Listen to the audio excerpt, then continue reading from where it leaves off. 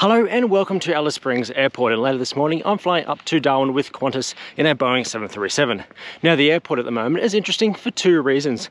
Firstly it's rained a lot so everything's very green so hopefully we'll get some good views on takeoff. But this airport is also being used as a storage ground for a whole lot of grounded COVID aircraft. So there's actually a whole fleet of Singapore A380s and 777s here and we should get a view of those as we take off. Um, but first let's uh, check in, put my mask on and we'll go and have a look at the lounge. I make videos about planes and slightly relevant geological observations about dirt. If you're into trip reports from flights around the world and tours through significant aircraft in museums, then check out my channel and subscribe. I'm also on Instagram and Facebook. I arrived around 90 minutes before my 0935 departure up to Darwin and things were still pretty quiet. I suspect that's because I'm used to larger airports where you have to arrive earlier to pass security and to get to your gate.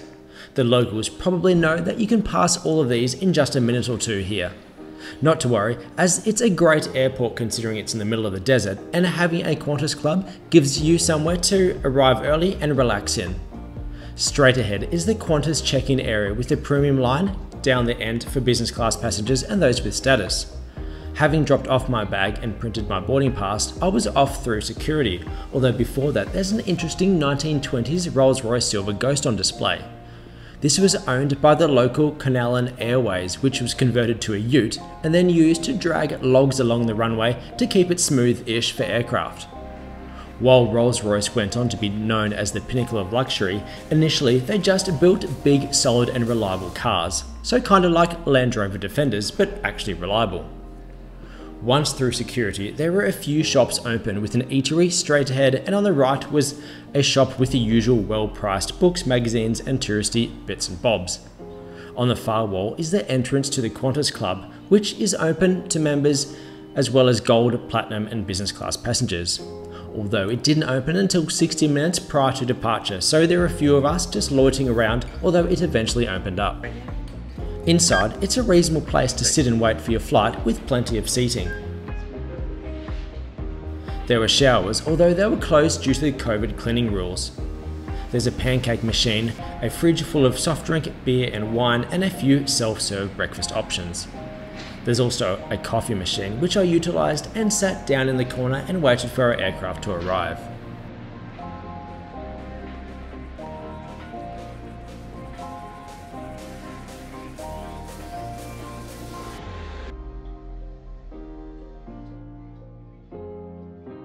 Eventually the flight was called and I started the rather long walk out to our aircraft.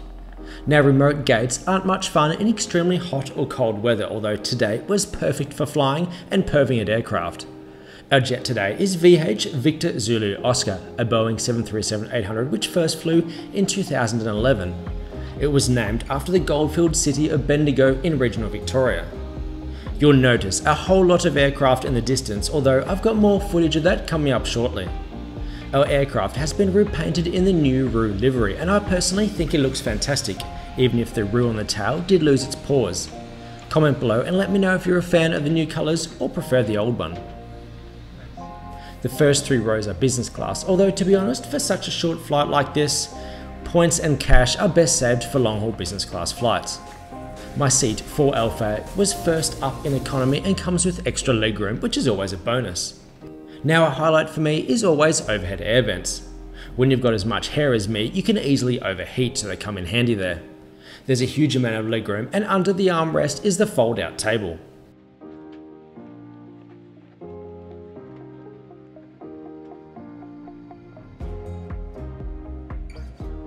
Further down is the in-flight entertainment screen which did turn on although mine wasn't actually working and next to that are power plugs and USB ports that you share with your neighbour particularly for 4 hour flights between Darwin and Sydney and across to Perth, power plugs are really important. And out the window, you've got this great view of the wing and engine. Now I know there are greater problems facing Western civilization, but there's so much legroom I had to invent a new way to reach my bag. Everyone was on board and we prepared for departure. As we taxied to the runway to take off towards the south, we got a glimpse of the aircraft in storage. It's really sad to see these incredible pieces of engineering grounded. During better times, they'd be transporting thousands of excited passengers and business peoples all around the world. I guess the good news is that it's only a temporary storage ground, unlike some of those in the US. Uh, so all of these aircraft will be returning to service at some stage. And with vaccination rates improving, I feel like the worst is probably behind us, and hopefully things will be back to normal next year. Although these are just machines and we really have to recognise the human cost of everything that's happened. Everyone in the travel, tourism and hospitality industry has been doing it tough, so if you can, definitely get out and support these guys when it's safe to do so. It was great to see Uluru chockers with travellers. In fact, there was no accommodation, so I had to sleep in a van, which was interesting.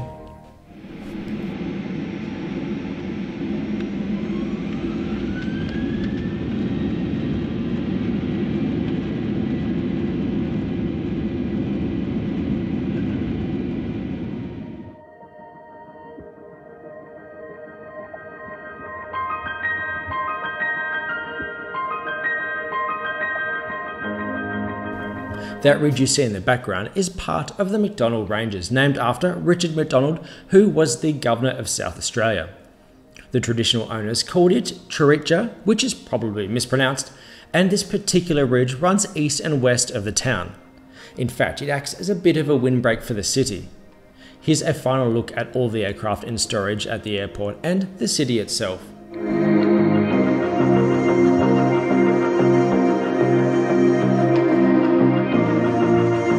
Now this is quite an interesting change in scenery.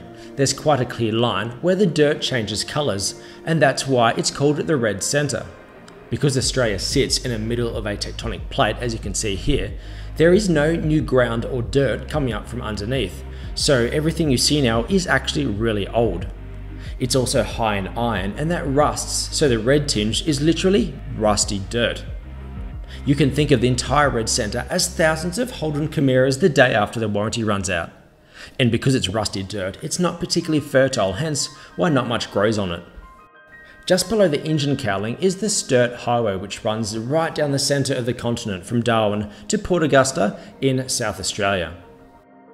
Qantas did suspend the in-flight entertainment when everything was grounded, although apparently that's now turned back on. But on this flight, I kept getting this error message the crew reset the system and assured me that the entertainment was meant to be back up and running, although again it failed. They offered a different seat, although I read instead. I was just curious for the purposes of making this video. There was also a small snack, which was smaller than I was expecting, although I've since discovered that there's a pause in serving breakfast from around 9 in the morning until midday. But the Wi Fi was up and working with a barrage of updates on my Instagram account, which, by the way, don't forget to follow me, etc. etc. As we trundled along at 40,000 feet, the terrain below became slightly greener and there was more clouds as the moisture increased. Just north of Katherine, we started our gradual descent down into Darwin. The terrain up here is certainly a lot greener and more lush than down south, although both regions still have their own unique beauty. If you check out my vlog on board the Ghan from earlier this year, you'll get to see even more stunning views and examples of the different terrains highlighting the diverse beauty of the Australian continent. You may have noticed some um, blemishes on the engine cowling. These are from corrosion blending, so essentially the removal of rust. My understanding is that when some of these were put into storage last year when COVID really closed down domestic travel, there was moisture trapped inside the wrapping that went around the engine, and it caused this. We spun around north of Darwin and landed towards the south. By the way, the views landing into Darwin were really impressive and I'll link to a full and unedited video in the video description below. So, how was the flight? Look, it was perfectly fine.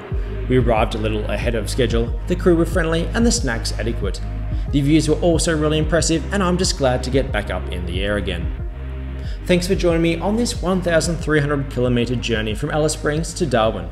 If you enjoyed the video, please give it a thumbs up, subscribe, and check out the other videos on my channel. Thanks, and I'll see you another time.